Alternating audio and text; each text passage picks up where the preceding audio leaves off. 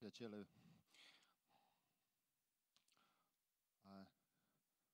chciałbym powiedzieć Wam e, dzisiaj na temat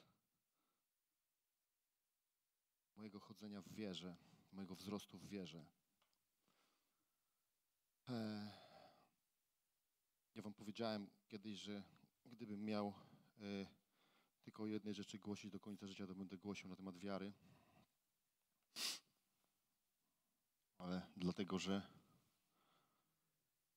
to jest nasze narzędzie do życia tu na ziemi.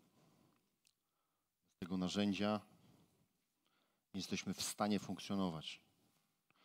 I wszystko możemy tutaj rozwijać i działać sobie. E, natomiast wiara to jest nasza karta przetargowa. Jak zaczynaliśmy ten kościół,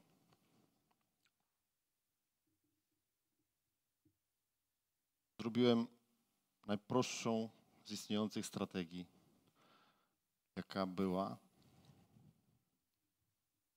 którą pokazał Bóg.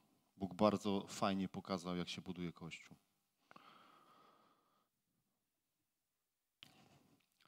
Położyliśmy fundament prawdy. Prawdy, która była absolutna i ostateczna. Surowy, zimny fundament.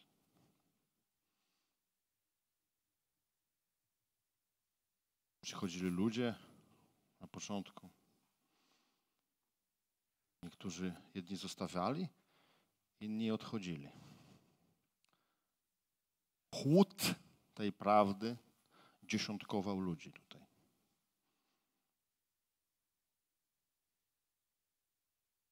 Ale to był fundament. Ludzie, którzy zostawali, bili się potem tą prawdą po twarzach, rzucali ją sobie w twarz, krzyczeli tą prawdą w siebie.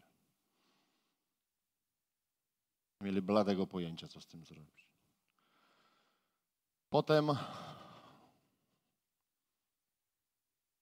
zaczęliśmy na tym budować cały system wiary, który zaczął stanowić pewne tło.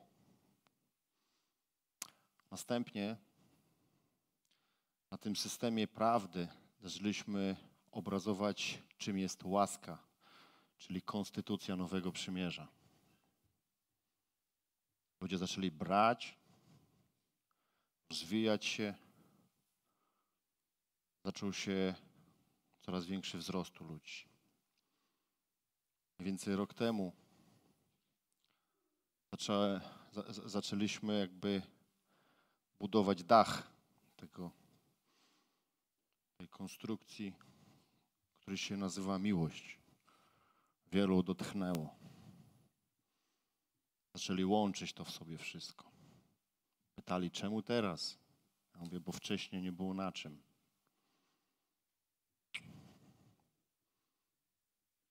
To by się inaczej zawaliło. Jak ktoś by mnie zapytał, Artur, jaka jest najważniejsza część ciała, którą ćwiczysz? Powiedziałbym nogi. Nogi. Czy wiecie, panowie, tak na marginesie wam rzucę, że jakbyście tylko dwa razy w tygodniu zrobili po 200 przysiadów, to wam skoczył testosteron o 20%?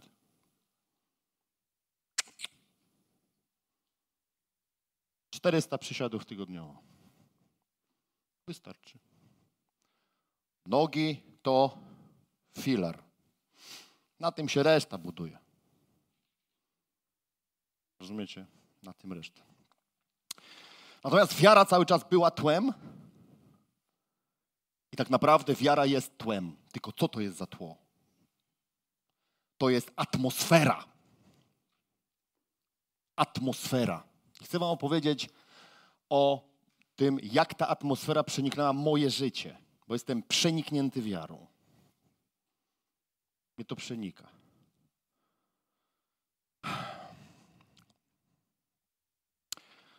mój największy atut to jest wiara. To jest mój największy atut. Hebrajczyków 10:38 jest napisane: Sprawiedliwy mój z wiary żyć będzie, lecz jeśli się cofnie, nie będzie dusza moja miała w nim upodobania. I zaznaczam, że to jest nowe przymierze. Bóg nie odrzuca człowieka. Bóg nie odtrąca człowieka. Jak ja to tłumaczyłem, to słowo, że dusza Boża nie będzie miała upodobania w człowieku. Jak dobrze zauważyłeś, nie jest napisane duch. Nie jest napisane mój duch nie będzie miał w tobie upodobania, ale dusza moja. Bóg ma duszę, wbrew obiegowej opinii. To postać z duszą. Ona myśli, czuje, przeżywa, decyduje. I kiedy tutaj na ziemi człowiek chodzi bez wiary, nie porusza się w wierze, to Boża dusza nie ma w tym upodobania. Jej to nie cieszy, ona tego nie akceptuje. Dlatego przypominam naszego drogiego Zbawiciela, którego można było wyprowadzić z równowagi tylko dwoma rzeczami. Dwie rzeczy go mogły wyprowadzić z równowagi. Religia i niedowiarstwo. I przez całe Nowe Przymierze, kiedy widzimy gniew Jezusa, to widzimy tylko w tych dwóch aspektach. Religia i niedowiarstwo. Czy on odrzucał tych ludzi? Nie, on ich nie odrzucał. On ich kochał. Ale jego dusza była wściekła. To była wściekła dusza. Dlaczego to była wściekła dusza? Dlatego, że on wiedział, jemu to zadawało ból. Niewierzący człowiek, niedowierzający człowiek, powiem więcej, niedowierzający, wierzący, rozumiecie, to jest cios dla Bożej duszy. Cios. To jest tak, jakbyś widział swoje dziecko taplające się w patologii. Człowiek Boży bez wiary to patol. To patol. Zwykły patol. Porządny, nieporządny to jest nieistotne, jaki on jest. A to jest patologia. Dusza moja nie będzie miała w nim upodobania. Bóg mówi, krótko powiedziawszy, zadajesz mojej duszy ból, gdy mi nie wierzysz. Nie wierzyć Bogu, nie dowierzać Bogu, to ból dla Jego duszy. Niektórzy w ogóle uważają, że Bóg ma w nosie to, czy mu wierzysz, czy nie wierzysz. To nie o to chodzi. On po prostu na potrzeby tego poselstwa, powiem, on cierpi w tym temacie. On w ogóle nie cierpi w żadnym innym. Ale gdy ty nie dowierzasz mu, to to jest cios. W ogóle wiecie, jaki dla mnie jest największy cios, jak ktoś mi nie dowierza. Ja w ogóle idę jak przecinak do przodu. Rozumiesz, o co chodzi? Na przykład ktoś mówi, czy ty na pewno dobrze idziesz? Ja miałem nieraz takie rozmowy z różnymi pastorami przede wszystkim we wcześniejszych czasach jeszcze. I mówię, czy ty na pewno dobrze idziesz? Ja mówię, czy ty widzisz moje życie? Widzę. To czemu to pytanie mi zadajesz? Skąd masz to pytanie? Kurczę. Czy ciebie w ogóle nie zdziwiło, że ja się 19 lat temu nawróciłem? 10 lat filmuję swoje życie non-stop. I nie mam żadnej w ogóle publicznej porażki. Jestem jak jakiś kretyn, który wywala swoje życie przed ludźmi, daje sobie oglądać, proszę Ciebie, w cudzysłowie, yy, każdą część mojego życia. Czy to Ciebie nie dziwi, że ja to w ogóle robię? A rozumiesz? Wiecie, czym jest, co definiuje przede wszystkim ducha czarów? Niechęć do konfrontacji. Jak ktoś nie chce się konfrontować w jakimś temacie, ukrywa się, to to, jest, to są czary. Rozumiesz? Ale jak wywalasz wszystko do wierzchu w swoim życiu i ktoś przychodzi i mówi, a czy na pewno dobrze? Ja mówię, ty no weź się puknij w głowę. Przecież mnie widzisz. Halo. Dziesięć lat. Sześć tysięcy filmów. Weź. Sara może swój, Sara może oglądać swój wzrost na YouTubie. Ona sobie może YouTube załączać i patrzeć, jak rosła. Rozumiecie? Czasami patrzy, o taka była, taka była, taka była, tu siedziała, tam leżała, w ogóle, rozumiesz? Dziecko w ogóle od urodzenia, w ogóle w internecie.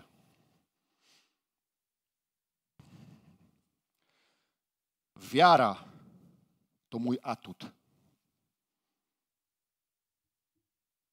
Wiecie, dlaczego wiem, że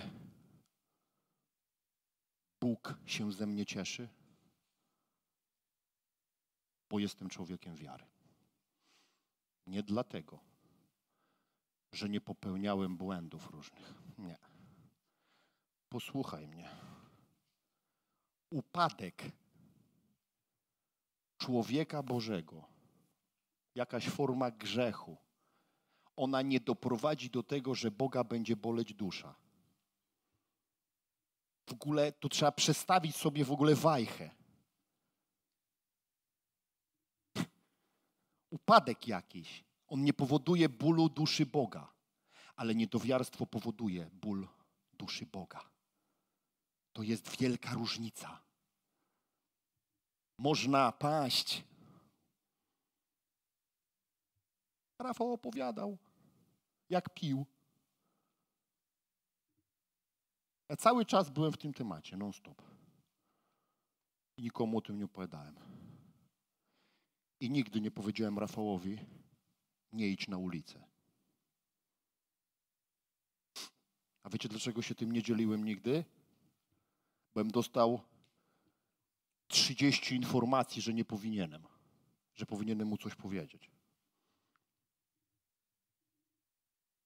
Tylko ja znam słowo, że mędrzec ukrywa wiedzę.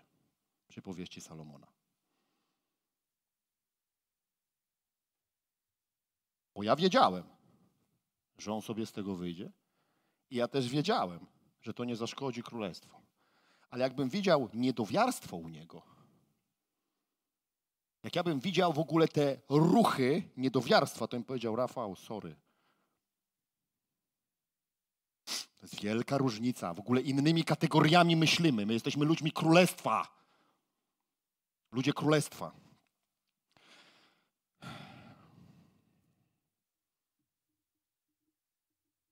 Hebrajczyków 11:6. Bez wiary zaś nie można podobać się Bogu. Kto bowiem przystępuje do Boga, musi, musi uwierzyć, że On istnieje i że nagradza tych, którzy Go szukają. Rozumiesz? Musi. Wiara to przymus. Jak się ktoś zbliża do Boga, to wiara jest przymusem. I więcej, chodząc z Bogiem, nie możesz realizować swojego życia prawidłowo, funkcjonując w niedowiarstwie. I tyle. Te wersety nadały pion mojemu życiu. Tu się zaczyna początek ruchu wiary, mojego wzrostu. Wiara stała się dla mnie centrum życia. Centrum. Dlatego ja tak Heigena pokochałem. I to w ogóle, co on robił. Ja pokochałem to. Rozumiecie? Ja pokochałem takich nauczycieli Bożego Słowa jak John Austin. Rozumiesz? Pokochałem takich ludzi. Tego typu nauczycieli, którzy nigdy nie byli w ogóle w kompromisie w związku z wiarą. Mogli różne rzeczy robić, nie tak, ale nie byli w kompromisie z wiarą. Ja pokochałem Keniona, starego kaznodzieję który zanim w ogóle rozpoczął się ruch uzdrowieńczy w Stanach, on w ogóle głosił ruch wiary. Duchowy ojciec Kenneta Hagena. Pokochałem tych ludzi. Pokochałem Watchmana Ni, który jak głupi jeszcze przed wojną rozwijał ruch wiary w Chinach. Rozumiecie? I kiedy stanął przed sądem za czasów Mao Tse-tunga i powiedzieli do niego, wyprzyj się, on powiedział: Nie mogę się wyprzeć tego, co jest moim życiem. I resztę lat spędził w więzieniu i umarł w tym więzieniu. Ludzie wiary zawsze wpływali na mnie stymulująco. Zawsze. Zawsze. Oni mnie kręcili. Wiecie dlaczego? Bo ja w tym odkryłem poczucie bezpieczeństwa. Zacząłem ją poznawać. List do Hebrajczyków 11:1. A wiara jest pewnością tego, czego się spodziewamy, przeświadczeniem o tym, czego nie widzimy. Ten werset odegrał kluczową rolę w moim życiu z wiary. Wiecie dlaczego? Bo ja zrozumiałem, że ja muszę w sobie że tutaj chodzi o to, abym ja odkrył w sobie pewną rzecz. Ja zrozumiałem, że wiara jest pewnością tego, czego nie widać. A więc to, co widać, to nie jest wiara. A więc wszystko to, co widziałem, uznałem za niewiarę. U siebie i u innych. Patrzyłem na kogoś, widziałem jego życie i mówiłem: Boże, to nie jest ogląd wiary. To nie wiara jest. Widziałem ludzi dobrych, patrzyłem na nich i mówię: To nie jest wiara. Nie mam żadnego dowodu na to, że on jest dobry. Patrzyłem na ludzi złych, przyglądałem się im i mówiłem w sobie: O, nie mam żadnego dowodu, że on jest zły. Bo wiara jest pewnością tego, czego nie widać. Zacząłem to w sobie rozwijać. Zgłupiałem na tym punkcie.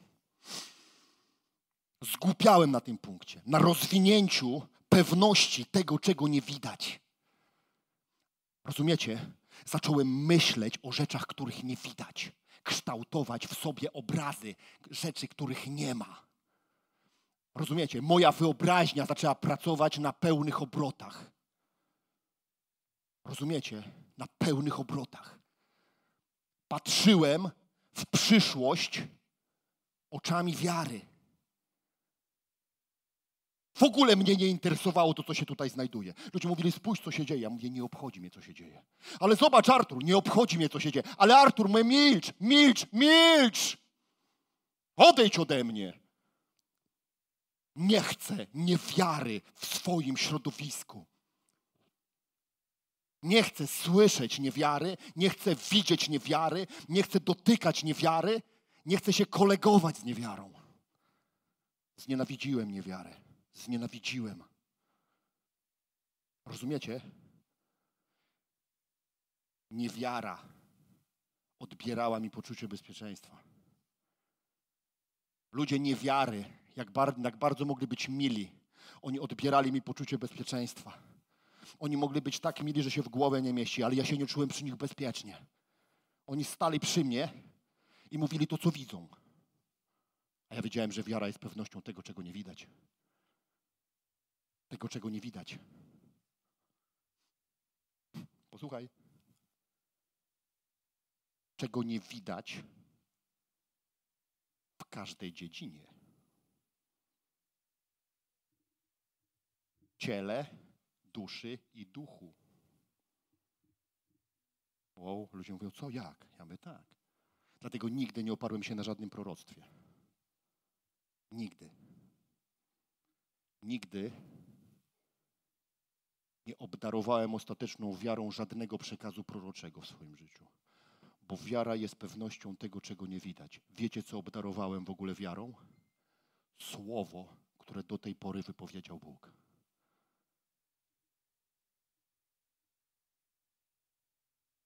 Derek Prince, mój kolejny ukochany nauczyciel, stawał z Pismem Świętym i mówił tak.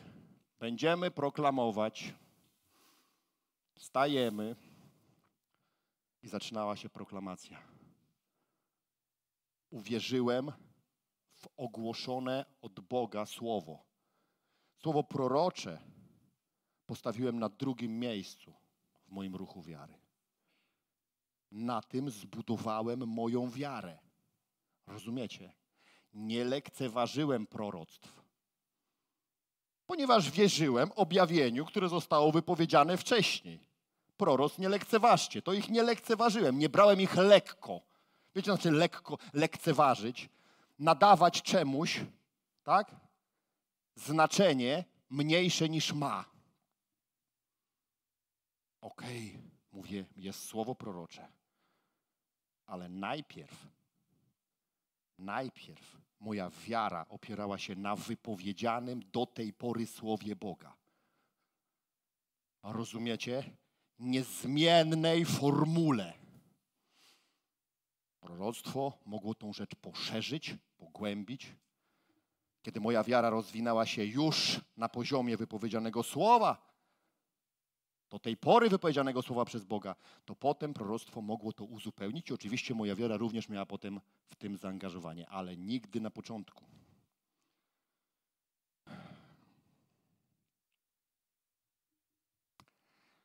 Słowo przeświadczenie z tego wersetu bardzo mocno mi przeniknęło. nie dopuszczałem do siebie, że kiedy wierzę w coś, to to może się nie udać. Przestałem brać pod uwagę taką opcję. Byłem przeświadczony. To grunt. Ktoś mówił do mnie, ale, ja mówię, ale się nie mieści w kategoriach mojej wiary. Ale weź pod uwagę to. Ja mówię, nie wezmę pod uwagę nic. I nikogo. Nic i nikogo. Ponieważ Bóg powiedział to. Ja w to uwierzyłem. I to się zrealizuje w moim życiu. I nikt i nic nie doprowadzi do tego, że to się nie zrealizuje. Oto moja wiara. Nikt i nic. Rozumiecie? Siedziałem w więzieniu już po nawróceniu. Ludzie mnie pytali o coś. O różne rzeczy mnie pytali. No bo jak w celi ogłosisz Ewangelię, w której siedzi sześciu ludzi, to pytania są codziennie. I oni mnie pytali o różne sprawy. A ja im odpowiadałem w wierze. A oni mówią, a ty masz jakieś swoje zdanie? Ja mówię, mam. Jakie? Ja mówię, takie. To jest twoje zdanie? Ja mówię, tak. Ale twoje zdanie. Tak, to jest moje zdanie. Wierzę w to słowo. I to jest moje zdanie na ten temat. Nie mam w tym temacie nic poza tym. Rozumiecie? Taki był mój wzrost wiary. Życie z wiary stało się moim stylem, bronią i ochroną. Styl życia, broń, której używałem i ochrona. Waliłem wiarą we wszystko wokoło. Od mojej głowy, moich uczuć, relacji i wszystkiego, co funkcjonowało wokół. Waliłem wiarą. Jedni ludzie byli powalani przez to, innych przyciągałem. Zależy, kto jakiej był konstrukcji. Przestałem się przejmować tym, że moja wiara powala, gdyż przeczytałem stary dobry werset, że wiara nie jest działem każdego.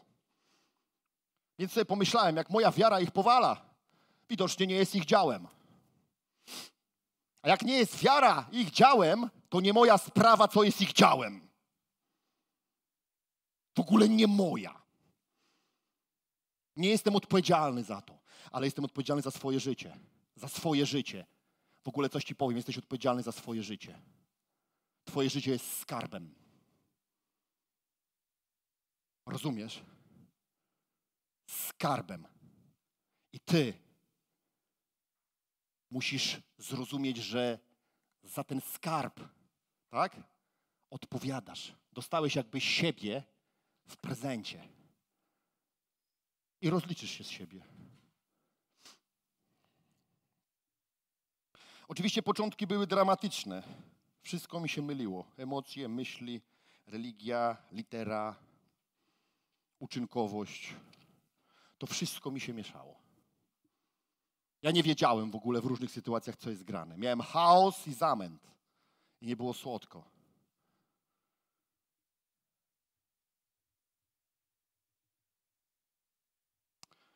Przełom przyszedł wtedy, gdy zrozumiałem ten werset.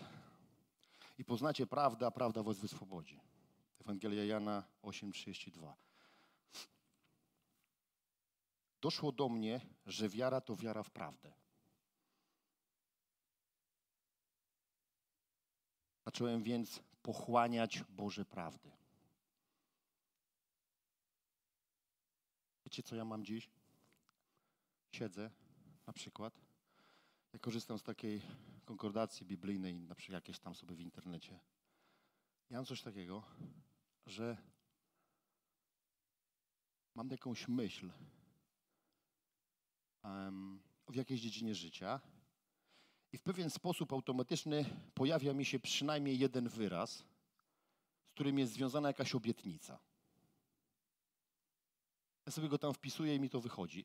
Od razu ja jestem tak przesiąknięty prawdami Bożymi. Ja mogę nie pamiętać całych wersetów z Pisma Świętego, choć w mnóstwie przypadków tak jest. Kiedyś tak przyprowadziłem człowieka do Jezusa.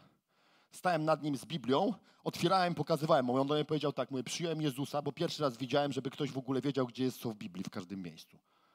Oddał życie Jezusowi w więzieniu, taki chłopak. Zacząłem drążyć Boże prawdy do oporu, zdobywać je. Rozumiecie? Zdobywać. Zacząłem zapisywać w moich zeszytach wszystkie obietnice z Pisma Świętego. Dzielić je na działy.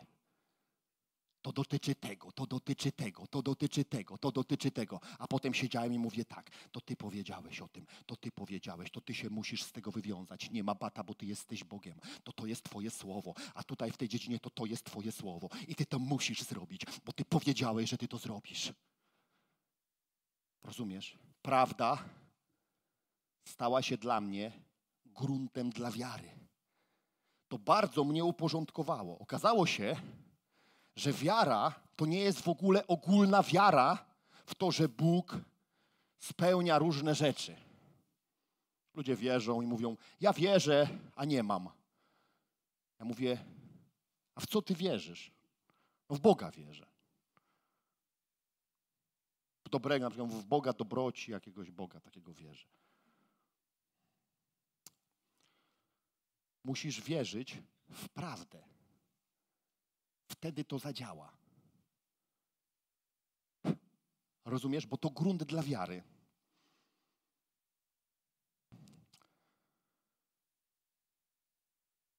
Im bardziej badałem prawdę Bożą, tym bardziej byłem kierowany do tego wersetu. Odpowiedział Jezus: Ja jestem prawda. Okazało się, że centrum prawdy to Jezus. To jest w ogóle centrum. Zacząłem badać Jezusa. Zacząłem w szalony sposób badać Jezusa. Zacząłem badać Jego myśli, Jego emocje, Jego koncepcje, Jego działania. Wiedziałem, że to jest centrum prawdy. Że jeżeli Jezus czuł coś w tym momencie, to to jest jedyne uczucie, które jest prawdziwe. A więc, kiedy widziałem u siebie masę innych odczuć w jakiejś dziedzinie, to wiedziałem, że moje uczucia kłamią. Wiesz, co to jest podważać uczucia? Uczucia, nie myśli. Czujesz coś gdzieś, a badasz Jezusa i mówisz, ty czułeś coś innego. Na przykład ludzie mówią tak. Ja nie czuję odrazy do religii. Nie? Zbadaj Jezusa. Proszę, pokaż mi uczucia Jezusa związane z religią. Czy one były stonowane? Czy on mówił, nie ma problemu, rozumiem was? Nie? Pokażcie mi uczucia Jezusa do grup faryzejskich. Jak do nich podchodził.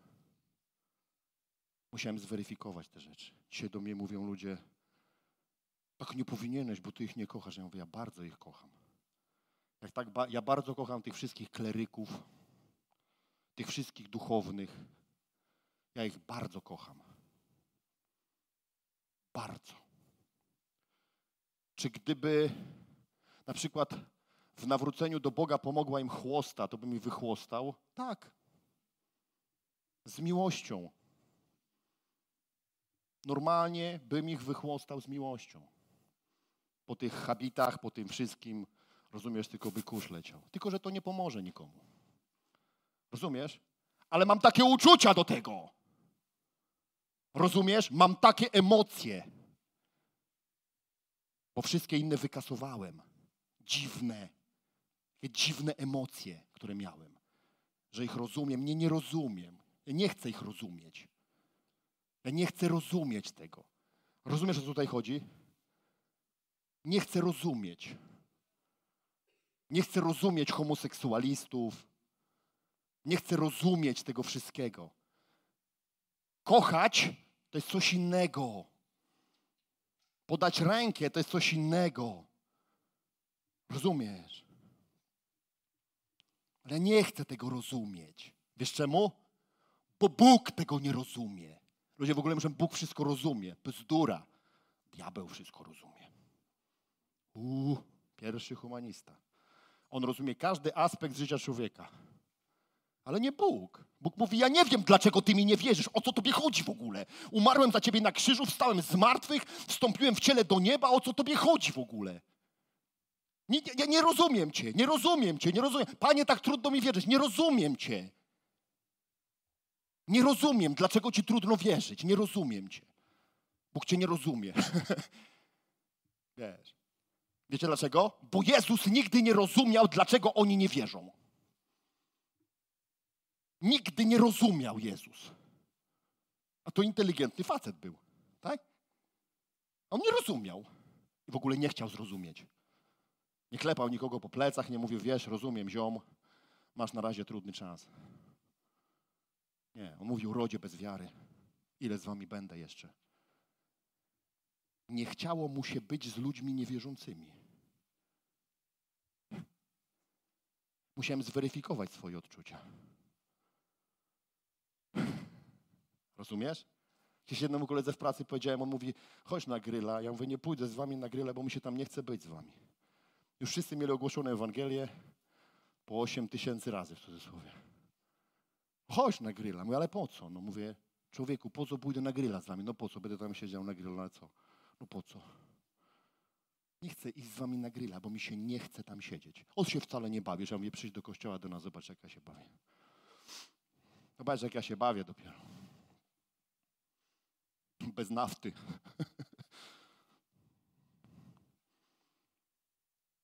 Zrozumiałem, że centrum życia Jezusa to wymiana krzyżowa, czy też właściwie centrum wszystkiego, co było z nim związane, to wymiana krzyżowa, zjednoczenie człowieka z Bogiem w Duchu Świętym i jego ustawiczne wstawiennictwo. Oparłem swoją wiarę w Jezusie na wymianie krzyżowej, na zjednoczeniu moim z Bogiem i na ustawicznym wstawiennictwie Jezusa. Na tym oparłem moją wiarę. To jakby to stało się centrum moich badań i najgłębszym w ogóle aspektem Jego osoby. Plus oczywiście wszystko to, co myślał, czuł, propagował. Konsekwentnie badając prawdę, doszedłem do miejsca, gdzie zrozumiałem, że jedynym wyrazem prawdy, takim, w który dzisiaj się wchodzi jak w masło, jest łaska. Rzymian 5:2 mówi: Mamy dostęp przez wiarę do łaski. Ja zrozumiałem, że nowe przymierze, czas nowego przymierza, to jest czas tylko łaski. Czyli Bożej niezasłużonej przychylności dla mnie i Bożej zdolności we mnie. Boża niezasłużona przychylność, zrozumienie, jakby obdarowanie wiarą Bożej niezasłużonej przychylności spowodowało, że rozpoczął się we mnie proces uwalniania. Ja się uwalniałem. Krok po kroku zaczynałem rozumieć i przyjmować przez wiarę, że nic nie muszę, to nie oznaczało, że nie rozumiałem zasad duchowych, ale oznaczało, że ja Jego nie zawodzę. Druga zaś rzecz, która wchodziła do mojego serca, to było to, że ja mam naprawdę całą Jego moc. To była trudniejsza część łaski. Trudniejsza część łaski. Bo to, że On mnie akceptuje zupełnie, to było łatwiejsze dla mnie szybciej szło. Szybciej mogłem to obdarować wiarą, ale drugą część łaski, że ja mam Jego zdolność, no to szło trudniej, ale parłem. Cała łaska stała się dla mnie kolejnym e, jakby etapem. Zacząłem badać ją. Zacząłem przyglądać się jej, zacząłem oglądać ją w Piśmie Świętym, zacząłem oglądać ją też w ogóle w życiu. Moje oczy otworzyły się na łaskawego Boga. Z drugiej strony Boga, który dał mi ziemię. Wiecie, co to w ogóle, do czego mnie doprowadziło badanie łaski? Że w ogóle się Bóg stąd wyprowadził. Dlatego mówię, łatwiej mi było tą, ten pierwszy aspekt opanować. To jest Bóg, który mnie akceptuje, ale ten drugi aspekt, że ta ziemia jest moja, zacząłem się niepewnie rozglądać wokół. A gdzie ty? Nie macie tu z boku? A moja wiara krzyczała do mnie coraz mocniej. Nie ma go z boku. To gdzie jest? No w tobie. A jak on coś robi przeze mnie? No to co ty robisz, to on robi. No co mam robić? Co chcesz, wszystko ci się uda. Rozumiesz, do czego to mnie zaczęło doprowadzać? Rób co chcesz. Religia, bo już wtedy religia mnie otaczała, wyła do mnie. Ty arogancie, ty narcyzie. Od czego mnie nie wyzywali? Ty uważasz, że co? Że ty masz y, jak, licencję na Boga? Ja zastanawiałem takie, ty masz licencję na Boga? Masz licencję na poznanie? Nie wiem. Ale mi dobrze idzie. Coraz lepiej.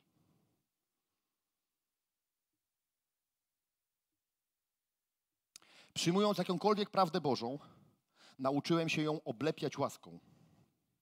W prostej linii zacząłem uznawać, że Boże prawdy nie są wymaganymi, nie są pewnymi wymaganiami, lecz pomocą.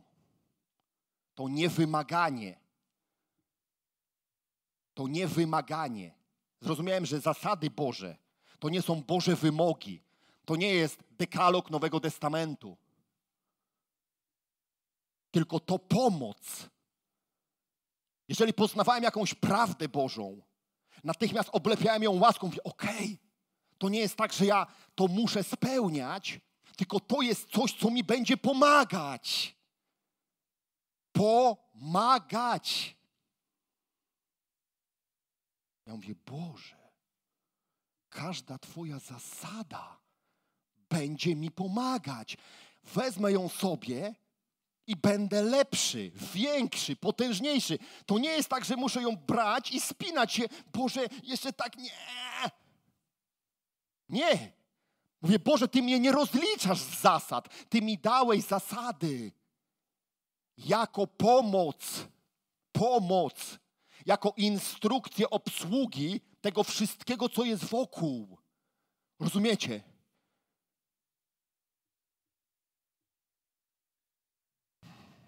Jestem mężczyzną i noszę takie spodenki męskie. Tam z damskimi, jak, nie wiem jak jest dokładnie, ale w męskich najczęściej metka jest z tyłu. Może macie panowie inne doświadczenia? Najczęściej w spodenkach, które ja mam, metkę mam z tyłu. Bardzo szybko się nauczyłem takiej zasady, że metka jest z tyłu, więc szybciutko wkładam sobie każde spodenki, nawet jak jest ciemno, macając metka z tyłu wkładam. W ogóle te takie już lepsze spodenki one są profilowane. Kiedyś sobie mówię, sprawdzę. Założyłem sobie odwrotnie. Przyjrzałem się tak bokiem w lustrze. Mówię, kataklizm. Zrobiłem przysiad, mówię, no w ogóle no nie idzie w tym żyć. Mówię, no metka musi być z tyłu. Ostatecznie z boku. Ale nie z przodu. Prosta zasada. Nauczyłem się jej i mi łatwiej. Rozumiecie? Łatwiej mi.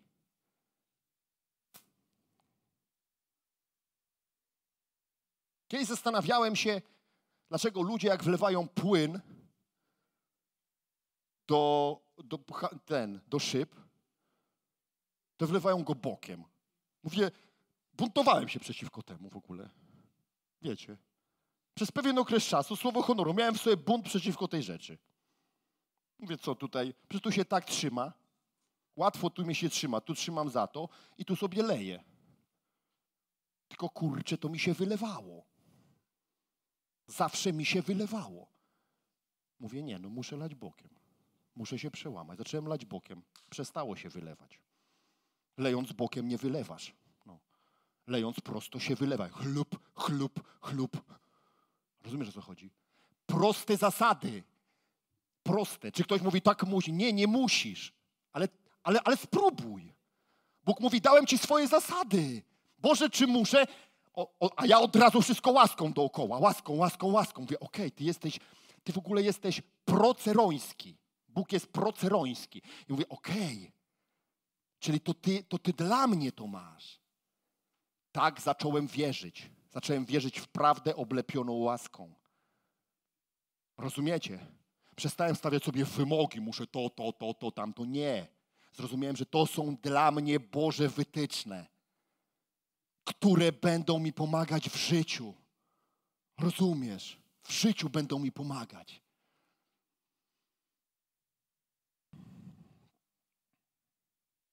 Trzeba te drzwi uchylić, bardzo proszę.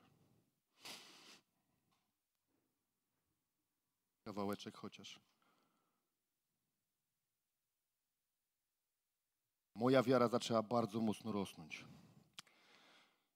Przypowieści Salomona 18:21 mówią: Śmierć i życie są w mocy języka.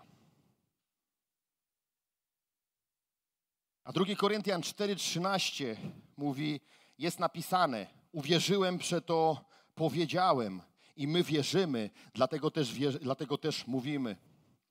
A list Jakuba 1,26 potwierdza, jeśli ktoś sądzi, że jest pobożny, ale nie powściąga języka swego, lecz oszukuje serce swoje, tego pobożność jest bezużyteczna. Pierwszy werset, który przeczytałem, dopiero po latach zweryfikowałem w sobie i zobaczyłem, że tam nie jest napisane życie i śmierć, tylko śmierć i życie. I to jest dość ważna sprawa. Ano dlatego, że język to jest w ogóle petarda. I diabeł używa go jako jednych z, jednej z czołowych broni przeciwko chrześcijaninowi. W pewnym momencie mojego rozwoju zacząłem dostrzegać wielkie narzędzie wiary, mój język. Wtedy też coraz więcej czytałem książek Kenneta Hagena. Zacząłem bardzo poważnie brać ten temat. Zacząłem rozwijać mowę wiary. Zacząłem rozumieć, że mój język przynosi śmierć. Wypowiadając słowa niewiary, sieje śmierć. I to jest takie subtelne. To jest takie ładne. To jest takie religijnie poprawne.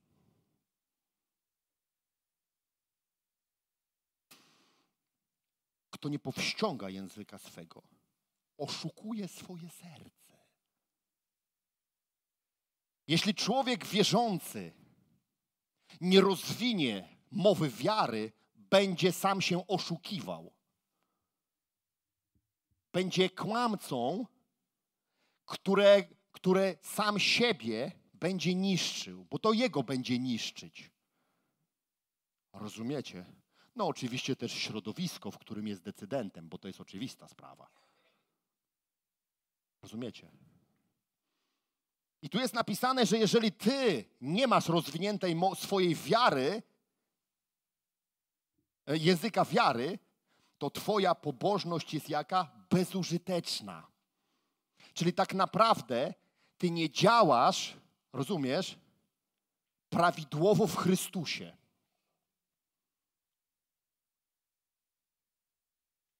Wiara, która zaradzała się w moim duchu i zajmowała coraz większe przestrzenie mojego umysłu, domagała się wypowiadania. Gdy była wypowiadana, nabierała coraz potężniejszych rozmiarów. Rozumiecie? To tutaj, w tym momencie, rozpoczął się bardzo silny ruch wiary we mnie. Ja zacząłem już nie tylko myśleć w wierze, ale zacząłem wszystko określać w swoich słowach wierze. Zacząłem to przekładać na każdą dziedzinę życia i na każdą relację. Zacząłem mówić w wierze. Mówić w wierze. Powiem Ci coś. Jak zaczynasz myśleć w wierze, to przychodzisz tylko wewnętrzne kryzysy. Ale jak zaczynasz mówić w wierze, zaczynają się kryzysy zewnętrzne. Ludzie zaczynają stawać okoniem wobec ciebie. Mówią, co ty mówisz? Przecież ty kłamiesz. Dlaczego ty to mówisz? Czemu ty mówisz o sobie rzeczy, których w tobie nie widać? No bo wiara jest pewnością tego, czego nie widać. To co mam o sobie mówić? Jak mam mówić o sobie w wierze, oglądając swój stan i relacjonować go? To mam robić? Zobacz, co się zaczyna dziać. Mam opisywać stan, który widzę? Jak to się nazywa? Co to jest? Ktoś powie, no to jest prawda. Nie, nie, no to nie jest prawda. Prawda jest tym, co mówi o mnie Bóg. Bóg do mnie mówi święty, nieskalany, czysty, sprawiedliwy, wielki, mądry, rozumny. To mówi o mnie Bóg. Jest to zupełnie inne niż moje uczucia, zupełnie inne niż różne moje zachowania. Kiedy okazywałem w domu niecierpliwość, wybuchałem, wybiegałem z domu, szedłem do lasu, kładłem na siebie ręce i krzyczałem w lesie, że jestem krynicą cierpliwości, najspokojniejszym człowiekiem na świecie, łagodnym jak baranek paschalny. Mówię, Boże, dziękuję Ci, że ja się w ogóle nie denerwuję. Mnie nie można wyprowadzić z równowagi. Ja jestem łagodny, delikatny, do rany mnie przyłóż. Łzy mi leciały, bo właśnie ludzi poraniłem. Rozumiesz? Ale mówiłem to, co mówi Bóg. Nie szedłem i nie mówiłem, jestem grzesznikiem, nieudacznikiem. Nie daję rady. Nigdy nie powiedziałem przez 19 lat, nie daję rady. Nigdy nie powiedziałem Bogu, że nie daję rady. Nigdy. Bo On do mnie powiedział, że wszystko mogę. To jak ja bym mu powiedział, że nie daję rady, to bym mu napluł w twarz i powiedział: Kłamiesz, Jachwę!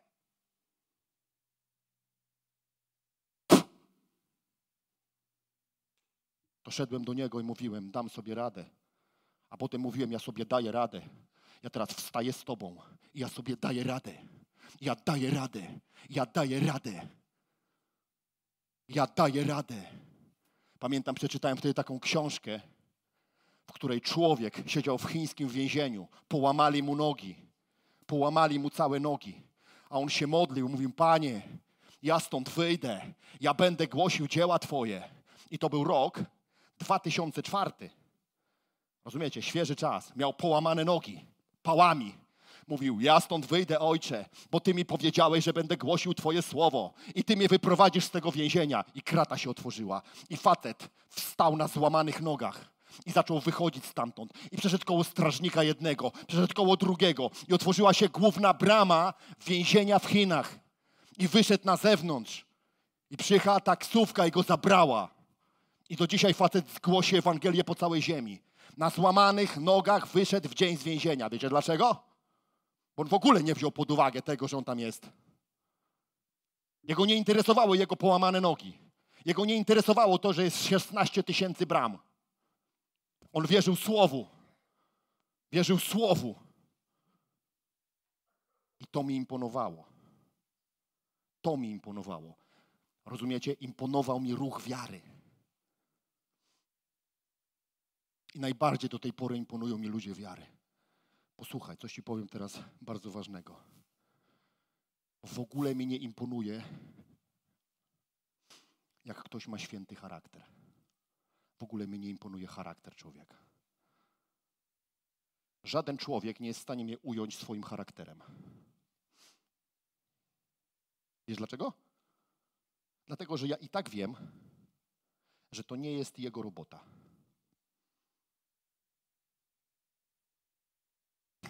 Tak? Tak samo jak wiem, że to nie moja robota, że coś pozytywnego dzieje się we mnie w środku. To zasługa świętego ducha, nie moja. Ale wiara to moja sprawa. Nie można zsiąść się na pupci, ok? I mówić, żeby być, i mówić, Panie, napełnij mi wiarą. Bo wiara, ona jest wypracowywana, nabywana. Jej się nie dostanie przez nałożenie rąk. Przez nałożenie rąk może rak zniknąć. Przez nałożenie rąk można wstać z martwych. Rozumiesz? Przez nałożenie rąk można przyjąć namaszczenie, ale przez nałożenie rąk nie otrzymasz wiary i twoja wiara nie wzrośnie choćby o centymetr. Bo wiarę się nabywa. Charakter zmienia się w wyniku przebywania sobie z Bogiem, rozumiesz? I wykazania prostej chęci. To jest cały interes. Musisz łapkę wyciągnąć po charakter. Rozumiesz o co chodzi? I trochę podtrzymać, żeby ci nie drętwiała. A, jakby przetrzymać to drętwienie. Ok? Ale wiary musisz nabyć. Wiary musisz nabyć. Musisz ją zdobyć. Zacząłem mówić z wiarą.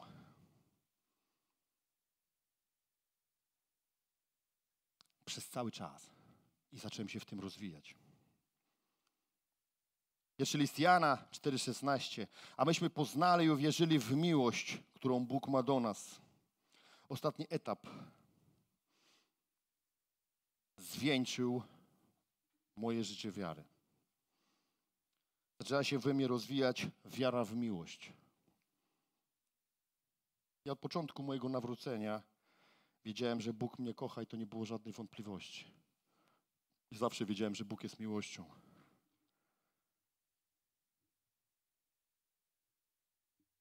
Ale teraz zacząłem doświadczać tego i poszedłem i zaczęło się poszerzać moje zrozumienie Jego miłości do mnie.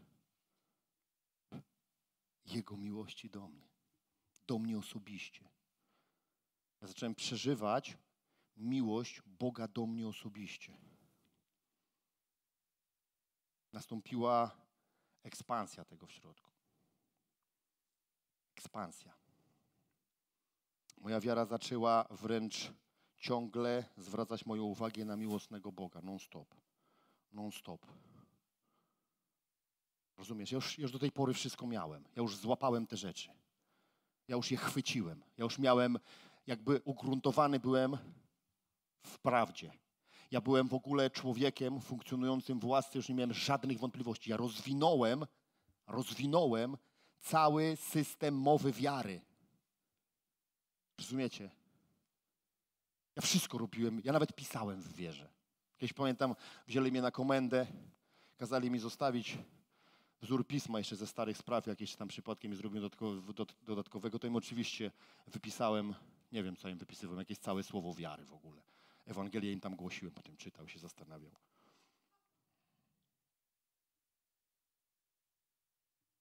Zacząłem poznawać miłość. Miłosne myśli o mnie i o innych ludziach zaczęły mnie dominować. Ja już doceniałem człowieka. Ja już widziałem w człowieku Boga. Ja rozumiałem, że wszyscy w łasce funkcjonujemy, ale ja tak nie widziałem jeszcze człowieka. Zaczęły blednąć mankamenty ludzi. Co nie znaczy, że ja ich nie widziałem, że są, ale zaczęły blednąć. Dalej gniewałem się na to. Dalej ale bledły. Rozumiecie? Robiły się coraz bardziej takie jakby nieznaczące dla mnie. Pojawiła się bardzo dziwna cecha, której wcześniej w sobie jeszcze nie odkryłem. A potem się dowiedziałem, że to jest cecha centralnie z serca Boga.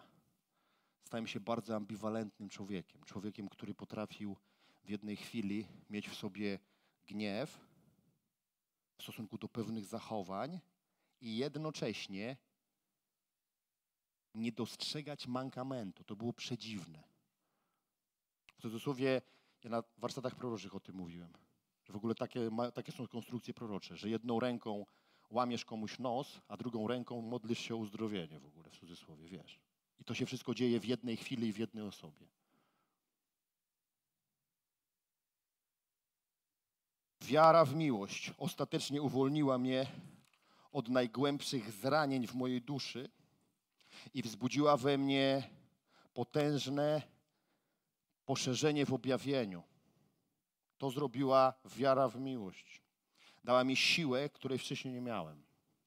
Stałem się mega wolnym człowiekiem. Bardzo wolnym człowiekiem.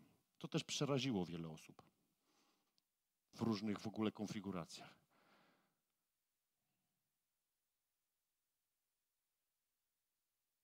Ewangelia Mateusza 7:8 mówi: Każdy bowiem, kto szuka, znajduje, a kto kołacze, temu otworzą. Cały mój rozwój wiary bazował zawsze na szukaniu i poznawaniu Boga. A to było ściśle związane z parciem na Niego. Każdy, kto szuka, ten znajdzie. Każdemu, kto puka, otworzą. Tylko trzeba szukać i pukać. Ludzie do mnie mówią, a ja się tak nie rozwijam w wierze.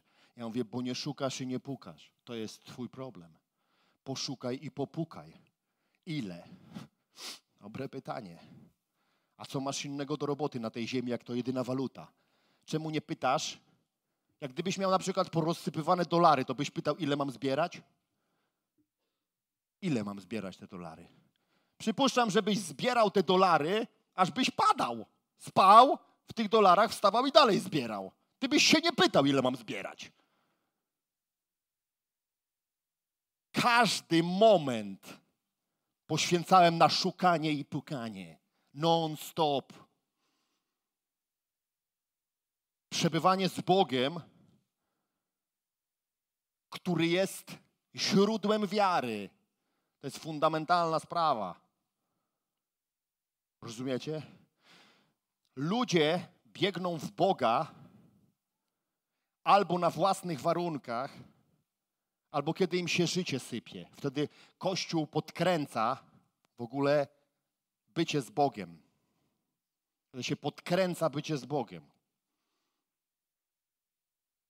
Ale Bóg to nie jest plaster. Też tam w nim jest taka apteczka, żeby cię podleczyć, nie? Ale to nie jest główne zadanie Jego. Główne zadanie to jest zrobić tak, żebyś nigdy się nie skaleczył i nie potrzebował, żeby cię leczyć. To jest dobry ojciec. Rozumiecie? To jest moja droga wiary. Jak będziesz chciał, to możesz z tego skorzystać, bo to naprawdę idzie w bardzo jakby taki równy sposób. Koncentrowanie się na prawdzie spowoduje, że wyeliminujesz chaos z siebie. Nie będziesz się zastanawiał, czy ty dobrze wierzysz. Bo spojrzysz w słowo i powiesz, o, w to wierzyć mam. W to mam wierzyć. A jak będziesz miał uczucia jakieś w związku z tym, nie takie, tak jak Rafał dzisiaj tutaj powiedział, wiesz, bo, bo ludzie na przykład patrzą na przykład tak, a propos tego siania, w ogóle wiesz, kto dobrze sieje, dobrze będzie zbierał. Oni no nie mam tak w sercu tego. To masz krzywo w sercu. To w ogóle nie jest tam te serce, tam to w ogóle tam, te serce, to takie, to też się tak używa tego słowa serce. Rozumiesz, masz zaburzenie w psychice, tak powiem najprościej. I teraz nie masz tego, proszę Ciebie, najprawdopodobniej, bo albo się boisz, albo jesteś chciwy, coś tam jakoś masz krzywiznę. Wiesz o co chodzi? Dam się do tego, ale słowo to jest prawda. I masz punkt wyjścia. Rozumiesz? To teraz sobie, proszę Ciebie, zrób porządek, obwaruj wiarą, zobacz, jak łatwo pójdzie. Rozwiń, zbadaj wszystko, co jest związane z łaską. Rozumiesz? To w ogóle są proste rzeczy. Jak Słowo Boże mówi, czyli prawda w tym wypadku. Prawda mówi tak, nie z uczynków. A ty na przykład w swoich emocjach masz, że chcesz na coś zasłużyć, no to ty już wiesz, że masz krzywo w emocjach. To ma krzywiznę jakąś, tak? No, masz krzywo, ok, no to już widzę, że zapisuję, mam krzywo, bo chcę zasłużyć, proszę Ciebie, żeby się tam podobać temu człowiekowi, albo się Bogu tam podobać, coś sobie wymyśliłem, że tam coś się będę podobał komuś. To krzywo już masz, tak? Okej, okay, no dobrze, to już wiem z prawdy, że mam krzywo. No to co? Dalej badam łaski. Aha, niezasłużona przychylność. Mhm. To teraz tak. Czy zrobię tak, czy tak on mnie kocha? Czy zrobię, czy pójdę tu, czy nie pójdę, to on w ogóle mnie akceptuje. Wiesz o co chodzi? On mnie nie rozlicza w ogóle z tego wszystkiego. Aha, mhm. no i mam Bożą zdolność. O, zdolność mam. Hmm. Czyli mogę wystąpić przeciwko temu, temu zwitkowi odczuć. Mogę. Mogę mówić wierzę. Co będę robił? Mówił do uczuć. Będę sobie rano wstawał i mówił do moich uczuć. Ty uczucie, które sprawiasz we mnie potrzebę podobania się tej i tej osobie lub Bogu samemu, won! Nakazuję ci milczeć. Przeklinam cię. Masz wejść w miejsce prawidłowego funkcjonowania. Masz być takie, jak u Jezusa. I ile razy wystawi łeb do góry, tyle razy pałą w łeb. Łup, łup, łup, łup, łup, łup. W pewnym momencie gwarantuję ci, demon, który za tym stoi, się zniechęci, rozumiesz? A uczucie się wbije do płaszczyzny Chrystusowej. Równiutko z krzyżem, jak ten jakiś sęk na nim, rozumiesz? Już miał równe uczucie proszę ciebie jak drzewo krzyża. Bo już wiesz, że masz wierzyć w prawdę, w łaskę i że masz na przykład funkcjonować w mowie wiary. To prosta droga. Tylko trzeba na nią wejść. Rozumiecie? Trzeba wejść na tą drogę. Ruch wiary jest prosty. Ruch wiary jest prosty. Dlatego go kocham. Nienawidzę rozmemłanego chrześcijaństwa. Chrześcijaństwa, które się wije w swoich emocjach, które latami naprawia w swoje emocje, które się wykręca człowieku ze wszystkich stron, rozumiesz, z prawdy. Wiecie, dlaczego tego nienawidzę? Bo to niszczy ludzi. Ja pomagam ludziom wychodzić z zaburzeń, ale ja nie mam żadnej satysfakcji. Tak jak dzisiaj Basia powiedziała, ani razu nie dostała zwrotki, mówi jak grochem o ścianę. A rozmowy mieliśmy naprawdę różne. I dużo łez, i dużo emocji, natomiast wszystko funkcjonowało na zasadach pionu. Rozumiecie? I gdy człowiek chce, to wychodzi. Jaki problem? I już nie chodzi człowiek, tak? Rozmemłany w życiu. Tylko wie, kim jest. Rozumiesz? A nie lata demon, proszę ciebie, na niego, wiesz, zrzuci gluta z nosa i człowiek się wywala. Ratunku, o co mi chodzi w życiu? Ruch wiary cię ochroni. Jest takie zdjęcie umieściłem w internecie takiego, takiego człowieka tam koło siedemdziesiątki. I napisałem, jestem stary, ale jary, no bo jestem z ruchu wiary. Tam dobrze wyglądał taki dziadek.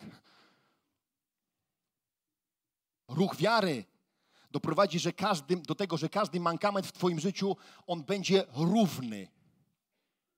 Rozumiesz?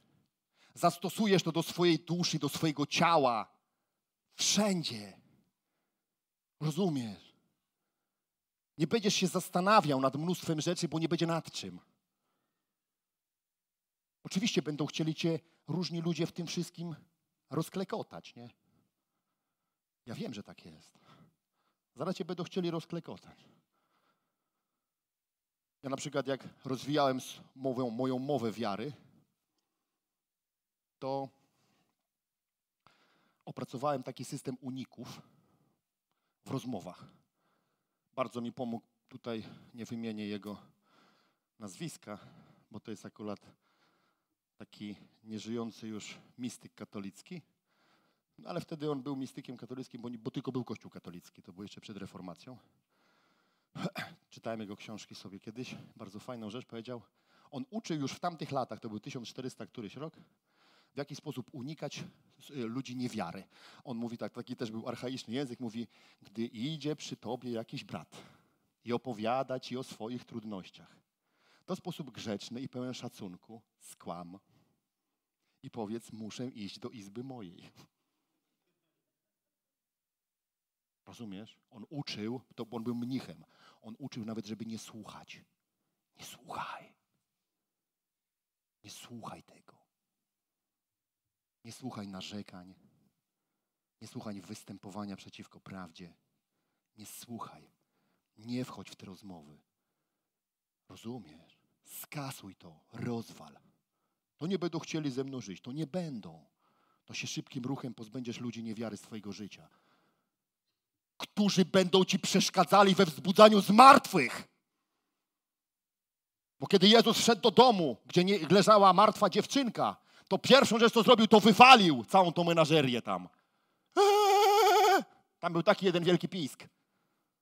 Rozumiesz? Jezus, zobaczcie, zobaczcie o co tu chodzi. Pokazuję wam prostą rzecz, jakie miał emocje Jezus. Wchodzi i wyrzuca płacącą rodzinę. Dlaczego on ich wyrzuca stamtąd? Jest napisane, wygnał ich. On nie powiedział, przepraszam, możecie stąd wyjść, ciotki, wujki. Wypędził wszystkich. Won. Niewiarę się wypędza. A jak będziesz szerzył ruch wiary, to niewiara sama będzie odchodzić od ciebie. Nie będziesz miał problemu z tym, że walisz, czy na słuchy masz różne. Rozumiesz, nie będziesz się musiał z duchowego pywu obmywać. Ruch wiary cię uratuje. Podniesie i poprowadzi. Coś wam powiem, przyjaciele. Jesteśmy ruchem przebudzeniowym. A więc robimy w zasadzie każdą formułę działania u nas w Kościele i w naszym ruchu. Każdą. Doprowadzamy do tego, aby głębie człowieczeństwa były wydobywane. To jest słuszne i to robimy i będziemy to robić. Ale nigdy nie wyjdziemy poza ruch wiary. Wiecie dlaczego? bo byśmy się rozmydlili w tym całym syfie jak szare mydło. To by nas wciągnęło. Stalibyśmy się zwykłym, religijnym ruchem, który rozumie ten świat. Rozumiecie, o co tu chodzi? A my mamy nie rozumieć tego świata. My mamy ten świat zbawiać. Mamy wyciągać ludzi z tego świata wyciągać ich, wywlekać stamtąd. Rozumiecie o co chodzi? A nie rozumieć ich. A, te, a do tego musimy być ludźmi wiary.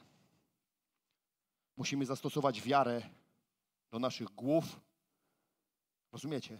Do naszych emocji, do naszych decyzji, do naszych ciał. Rafał dzisiaj powiedział: Wstaję o czwartej rano, idę, działam. Rozumiecie? idę i działam. Modlę się, dbam o siebie, prawidłowo funkcjonuję. Dlaczego? Bo jestem człowiekiem, który wie, o co tu chodzi. Jeżeli będziesz miał problem z tym, co ja dziś tu mówię, przyjdź do mnie, o tym porozmawiamy. To jest bardzo ważna rzecz. Dlatego, że ja nie mówię dzisiaj o tym, jakie są różnice między Bożym Narodzeniem a Wielką Nocą i co jest ważniejsze. Tylko mówię o tym, co jest fundamentalną sprawą. Bez wiary zaś nie można podobać się Bogu. Rozumiecie? Bez wiary nie można tu żyć. Będzie tylko zwykła religijna wegetacja ale w wierze wiesz, co zrobisz? Wszystko. Naprawdę wszystko. To w ogóle nie ma granicy dla ciebie. Rozumiesz? Nie ma granicy. Będą się dziać bardzo dziwne. My dzisiaj jechaliśmy do kościoła, jedziemy samochodem, coś miałczy. Agatka mówi, kota spakowałeś. I naprawdę pierwsza moja myśl była taka, że ten kot wlazł do mnie do walizki, ja go zapiąłem i w ogóle i go wiozę do kościoła tego kota. No bo ten kot wchodzi w różne miejsca. No więc dawaj, no zatrzymujemy samochód, otwieramy, otwieram walizkę, no, no nie ma, a miałczy. No miałczy mi w samochodzie coś, człowieku. A byliśmy już do Beaty, no ile my przejechaliśmy? Ze, ze 300 metrów tym samochodem. Rozumiecie? Już ze 300 metrów spokojnie przejechaliśmy. Normalnie po jezdni, no wyjechała, brrr, a tu miałczy cały czas. Słuchajcie, w ogóle patrzymy, siedzi nam na osi samochodu kot. Malutki kotek. Na osi w ogóle, wiesz. Ja w ogóle, wie, kot przetrwam. No. A w ogóle pierwsza my to zabi, zabi, zabity kot, no półurwany, reszta miałczy, no rozumiesz o co chodzi. Taka była moja pierwsza myśl, no mówię, ur, ur, ur, urwany kot, no, leży, wiesz. A tu cały kot jest. Normalny cały kot na osi. Ja nie wiem, ja mówię, to jest cud w ogóle, że to, że to w ogóle przeżyło, to kociątko. Rozumiesz? Ale o co chodzi?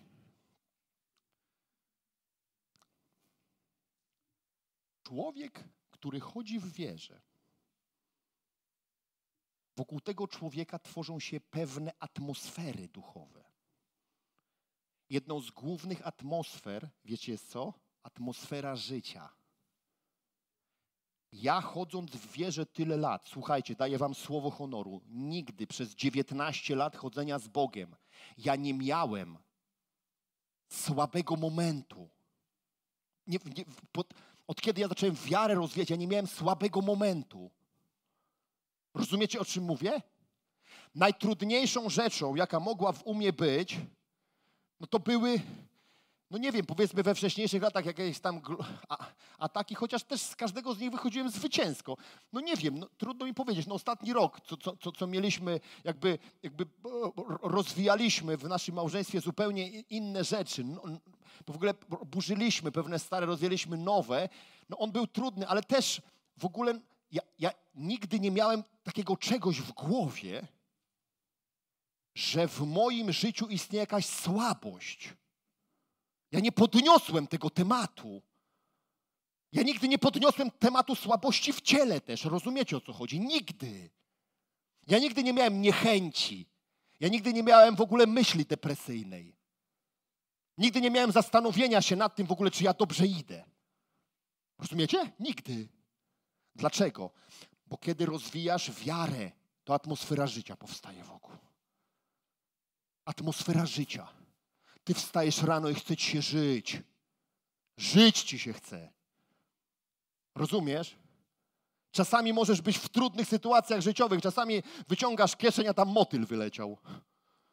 Wiesz o co chodzi? Ale to cię w ogóle nie rusza, bo chce ci się żyć, bo jesteś człowiekiem wiary. Tak? Bo ty za chwilę wiesz, że ta kieszeń będzie napełniona dzięgami. Rozumiesz? Ty wiesz. Ty patrzysz na pustą kieszeń, tak? I na podstawie zasady z listu do Hebrajczyków 11:1 ty widzisz jaką kieszeń? Pełną. I mówisz, Boże, dziękuję Ci, że mi portki urywa od szmalu. Ty to w ogóle wiesz, ty masz takie wyznanie. Ktoś mówi, o, motyl. A ty myślisz, nie wiem, o co ci chodzi. Człowiek wiary. Towarzyszy mu atmosfera życia. To jest dla każdego. Dla każdego. Rozumiecie? Dla każdego. Nie ma w Królestwie Bożym specjalistów. Nie ma w ogóle takich ludzi. Wstańmy proszę. Ojcze, dziękuję Ci za dzisiejsze słowo i za cały dzisiejszy czas. Ojcze, ja modlę się, aby to słowo przenikało ludzi, aby każdy aspekt ich życia był przenikany wiarą.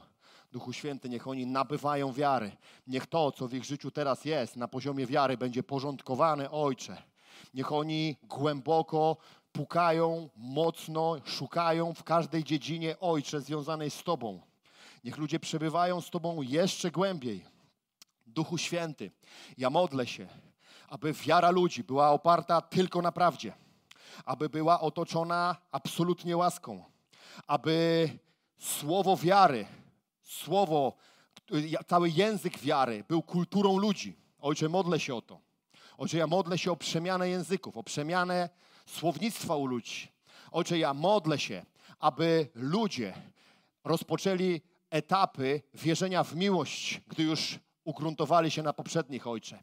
Ja modlę się o to, aby doświadczali głębin miłości, które są związane z Twoją osobą. Miłości, która uwalnia i miłości, która napędza. Ojcze, dziękuję Ci, że ludzie rozwijają się w wierze i będą jeszcze potężniejsi.